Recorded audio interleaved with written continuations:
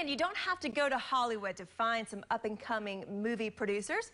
There are some right here in the Bay Area. Eight on your side's Brianna Villegas is live at Carrollwood Day School, where some high school students will showcase films they actually wrote and produced themselves. Good morning.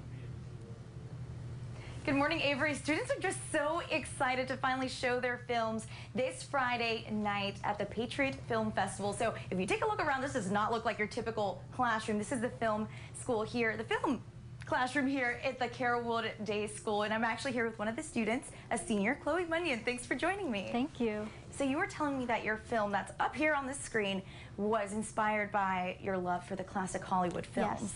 Can you tell me a little bit more about it? Sure. Well, I've always loved like the classic Hollywood films, mostly because of my mom. She'd always tell me to watch them. Um, and I love film noirs, specifically is my favorite genre. So I knew going into making this film, I wanted to do black and white mystery crime with lots of voiceovers and like a grimy small town. Amazing. So your next step will be to go on to college. What are your future goals for that? Well, I'm going to be studying media arts production in Boston at Emerson College, which I'm very excited for. Oh, and I awesome. definitely just want to explore all the film production roles, get my hands on some of the best equipment, and see, you know, what's my passion and where to go from there, definitely. So you all have a pretty awesome setup here at this in this classroom. This is not a classroom. This is No. insane. So what do you think your favorite part about learning film has been in this environment? Well, the best part is just coming in on the days where we're watching a film.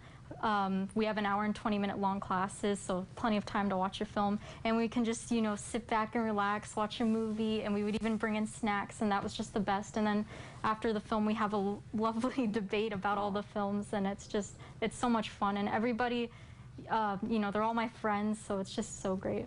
Great. What a great way to end your senior year. Well, thank you Mm-hmm. so much again for joining us, and I cannot wait till this Friday. And for those of you at home, you can actually attend the film festival this this Friday. I will be putting that up on our WFLA app on how to get tickets. In Tampa, I'm Brianna Villegas, 8 on your side. Now, Brianna, we've been talking about the Oscars this morning, so who knows? Maybe one day we'll be seeing their names win some awards at the Oscars.